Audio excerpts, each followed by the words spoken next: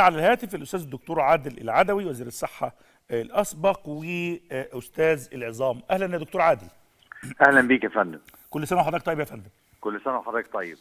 تابعت معانا آه، سيادة الرئيس النهارده اجتماعه مع المجموعة الوزاريه للحديث عن آه، تدشين مجمع صناعي للأطراف الصناعية والإعاقات الحركية مساعدة من يعاني من إعاقة حركية وزي ما وزيره التضامن دلوقتي قالت إن ربما يكون عندنا من واحد ونص مليون ل 2 مليون بيعانوا من إعاقة حركية ليس مسجل منهم إلا 620 ألف حتى الآن ومن ثم محتاجين آه، آه، مصانع ومحتاجين منظومة متكاملة بشكل علمي تدار بشكل علمي واقتصادي لإيصال الحق إلى مستحقيه.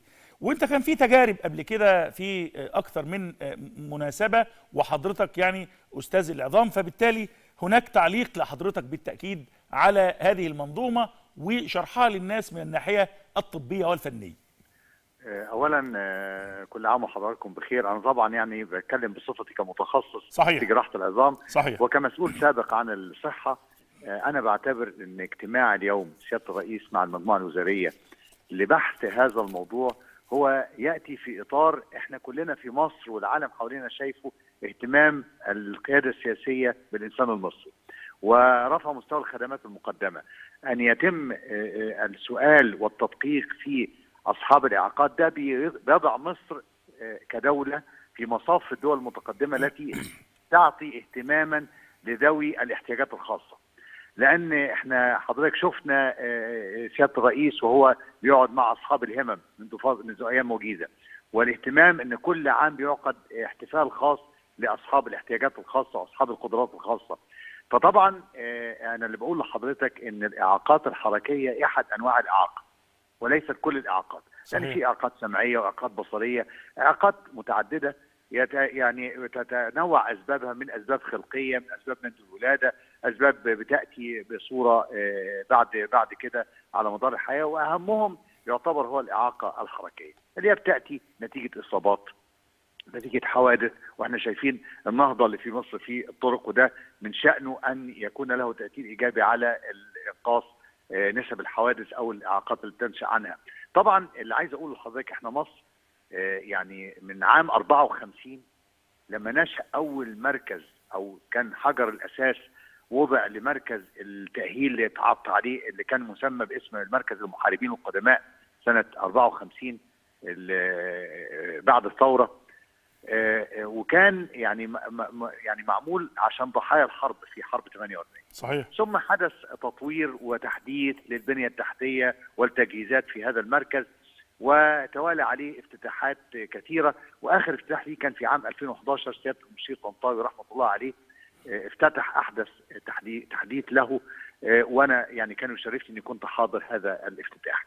اللي عايز أقول لحضرتك الإعاقات الحركية بتمثل عبء كبير على المجتمع وعبء على اصحابها. صحيح وأن يكون هناك اهتمام من الدول المتقدمة لوضع تصور لحل مشكلة هذه الإعاقات الحركية بيسبب يعني بيكون له الأثر الإيجابي على دمج هؤلاء هذه الفئات في المجتمع وأن تتحول إلى فئات منتجة وليست فئات آه، تمثل عائق على المجتمع.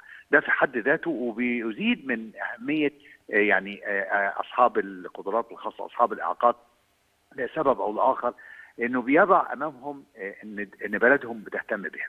طبعا آه، المشروع ده تأخر كثيرا، سيادة الرئيس بنفسه آه، آه، وجه إن يكون هناك منظومة متكاملة لأصحاب الإعاقات الحركية تتمثل في إنشاء مصنع على أحدث مستوى، حضرتك العلم بيتقدم في هذا التخصص بسرعة كبيرة جدا. صحيح ويوجد آه، آه، آه، حلول لأصحاب الإعاقات الحركية بتجعلهم كالأشخاص الطبيعيين تماما دون أدنى مشكلة.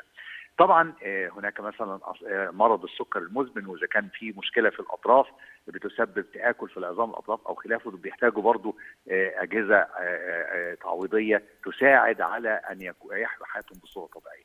أنا بشوف إن نقل التكنولوجيا هو السر الأساسي في إنجاح هذه المنظومة.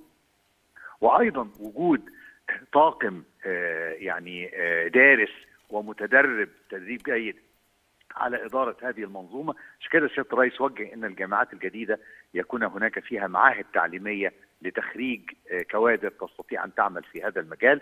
أنا شايف دي خطوة إيجابية عظيمة جدا جدا. نقل التكنولوجيا ونقل التعليم والتدريب مما يعني يكون له الشأن الأكبر في إنجاح هذه المنظومة وانعكاسها على فئة ليست بالقليلة في المجتمع كما أشارت السيدة وزيرة التضامن الاجتماعي أن هناك نسبة قد تصل إلى مليون ونص أصحاب إعاقات حركية مسجل منهم عدد يعني أقل من هذا بكثير.